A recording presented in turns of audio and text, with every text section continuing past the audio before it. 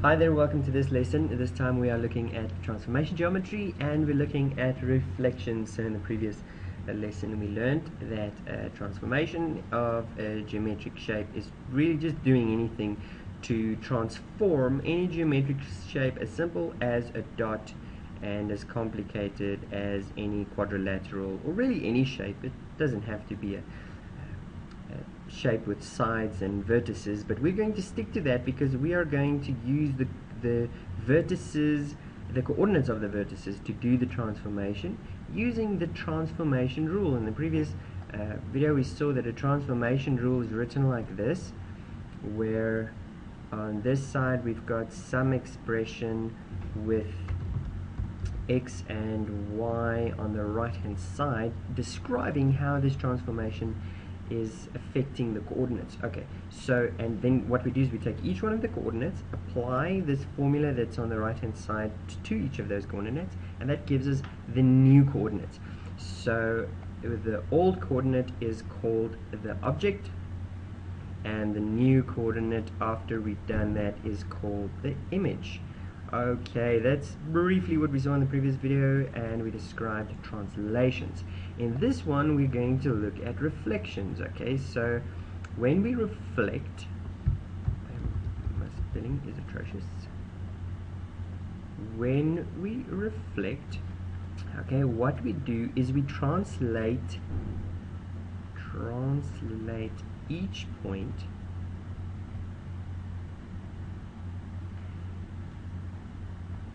um, to an equal distance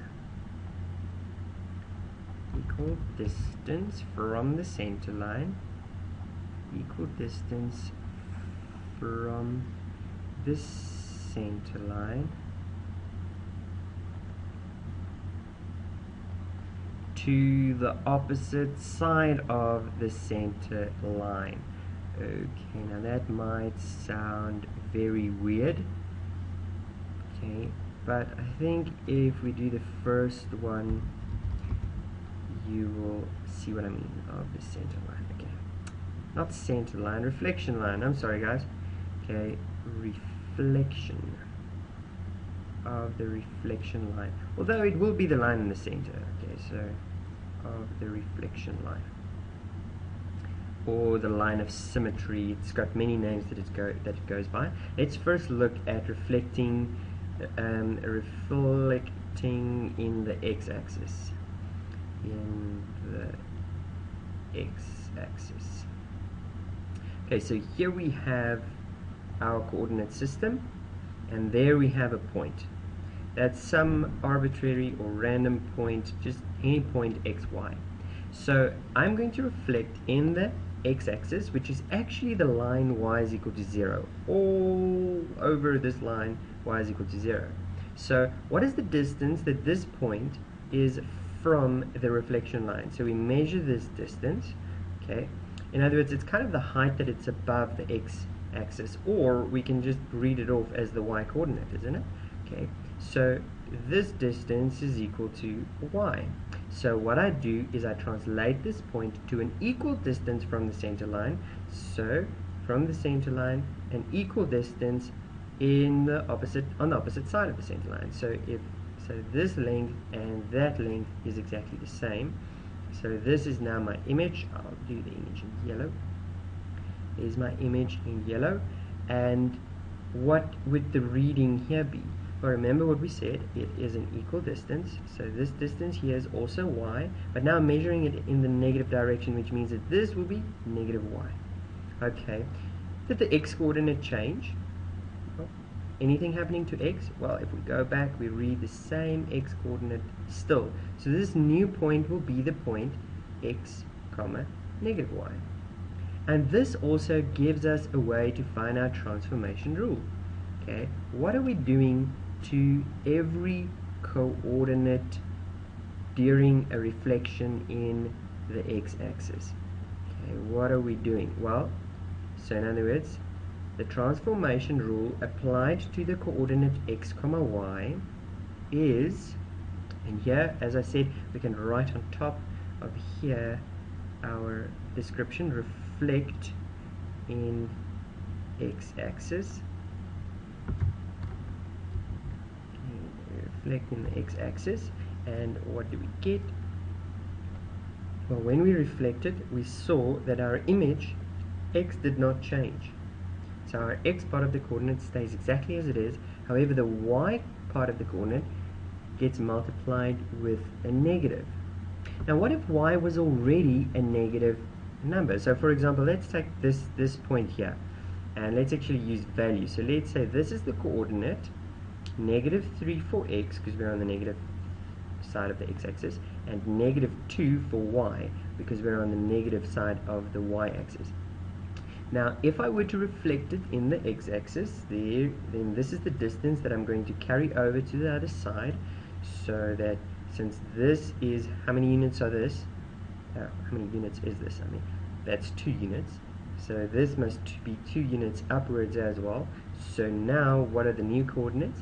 It's negative 3 comma 2 so see even when the y coordinate is negative to find the image of a reflection in the x-axis the sign of the y coordinate changes and when we want to change the sign we just always multiply with negative Negative just when multiplying with a negative means taking the opposite sign okay so this is indeed the transformation rule for a reflection in the x-axis how about reflecting in the y-axis? I wonder if you can guess. Reflecting reflection in the y-axis. Okay, so here's our coordinate plane. Okay, taking any point, let's take that point right there. We call that point x comma y. Okay, let me take a point in the first quadrant. It just might be less confusing. Okay, x comma y, so you don't don't feel like I'm cheating you when I work with the different signs. Okay, so which means that what I'm reading off on the x-axis is the x value. What I'm reading off on the y-axis is this y value there. Okay, now if I am going to reflect in the y-axis that means in this line that's actually the line x is equal to 0 because everything on that line is equal to well has an x coordinate equal to 0 and if I want to reflect in it I take the distance that I'm away from my reflection line. What's that distance there? Well it's x units. Okay from 0 to x is x units. So I have to translate that distance on this side as well. So that's also x units. And then I translate my point to that side x units. I should have said in the definition that I, I take a perpendicular distance. Okay, so I can't maybe keep that distance and put it anywhere like from that point. Uh, yeah, no, it, it should be perpendicular distance. I'm sorry I didn't mention that. Okay, so this new point, okay, so this distance is x, but if I were to read off the value that's there, it would be negative x because it's on the opposite side of the x-axis. Sorry, the y-axis. So this one will have a different sign than that one. I hope you understand what I mean by that. So that this new coordinate now becomes negative x. As you can see, the y value has not changed. I mean, it's the same height above the x-axis, so the y value is still the same and that is the coordinate of my image okay so here we see our transformation rule is given by a little bit longer so I can write on top of it reflect in y-axis okay and then the transformation rule is negative x comma y. Now, is it important for you to go and study the transformation rules so that you know them off by heart? Well, it might be helpful, but it's not necessary because all you need to do to find the transformation rule is to go and draw this sketch quickly, go and plot any point in the first quadrant, and then from there go and see well what would happen to that point if I apply the transformation? Like here I this way then I saw okay well my x value stayed the same but my y value got a negative. And I plot the new coordinate as such and this is my transformation rule. T that gives me that okay? So you don't have to go and study it it might be helpful but um, all you need to be able to do is figure it out. We're going to look at one more reflection for the scope of this course and that is reflecting in the line y is equal to x.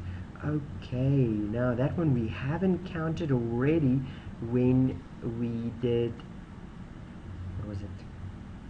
Uh, inverses, okay. So inverses in functions and graphs, we did inverses and we counted it there. Now this is the line y is equal to x. It's simply all of the coordinates where if I read off here an x value and I go read it off here, I will read off the same value that I, that I have there. In other words, my y value that I read off is equal to the x value that I put in. Okay, so that is the line y is equal to x. Let's clear that out. So, what would the transformation rule look like if I take any point, let's take that point, and I reflect it in this line? So what do I do? I measure the uh, um, perpendicular distance to the line and then I translate that distance to the other side okay also perpendicular again okay and I plot that new point. What would the coordinates of that point be? Okay now there's a little bit of a um, well it's very very easy but to to prove to you that it is true I need to do a few steps. Now there might be an easy way easier way I don't know um, but this is this is what I'm going to do. I'm going to just drop that line down there and this line down there. And then I want to show you in these two triangles. So that those two distances are the same. This is a 90 degree triangle okay? This side length is the same side length for both triangles. So we've got two sides in a right angle triangle equal. So if I use, use Pythagoras to get this side I'm going to get the same value for that side. So this distance and that distance is equal okay? Then one thing that I know is on this point the point where these two lines cross and this line uh, intersect as well on this this line this reading here would be the same as that reading over there. Okay? Because remember what we said every coordinate on here will have the same x value here and y value there so those so this distance and that distance would be the same what that now means is that the distance here, let me use a different color. Let's say the yellow distance here, okay, is now this distance plus that distance, okay, and this this and, and that would be my y coordinate for this one. Uh, uh, yes, that's the height. So say that's the y coordinate for this one. And if I look at this distance, that's also that distance there. Same distance there and the three distance there. Okay one two three. So it's the same you see? They have the same length. And this would be the distance from here to here. That distance. In other words the horizontal distance for the reflection or the image is equal than the vertical dis distance of the object. Remember the object's the original point? Original point in purple okay, chain timing. And uh, that one's vertical distance seems to be the same than this one's horizontal distance. In other words this y value will be this one's x value. Okay let's see how about that distance right there this x distance now this one's x distance is that simply that distance right there. This one's y distance is simply that distance right there. Again, this one's horizontal, the object's horizontal distance is the same as the image, the image's vertical distance. In other words, this one's x becomes that one's y. Okay, you can see that it's actually very, very, very, very, very, very simple. Okay, that if I reflect, if I reflect in the line y is equal to x, the only thing that happens is my x and my y swaps places. x comma y becomes y comma x. That's it. My x coordinate becomes my y coordinate, my y coordinate becomes my x coordinate. So for example, 2 comma 3 will become, if I reflect in my y-axis, will become 3 comma 2. Okay, how about a coordinate that is somewhere here? Okay, we'll take an equal distance there translated in this direction and you notice it's somewhere there. So here we have that my x value would be some negative value. I just put the negative in front to show it would be negative while my y will be a positive value. And if I reflect it I see oh now my x value is a positive x value and the y value is a negative y value. Why? Because this actually becomes the y value. The negative value that I had there becomes now my negative y value. And the positive y value that I have there becomes my positive x value that I will have there. Uh, I, looking at the sketch, it looks very, very messy. I hope that it's not the same in your head and that this actually helped you understand where the reflection rule came from for reflection in the y-axis and then reflection in general is actually quite simple. See you in the next video where we are doing rotate, no, enlargements. See you.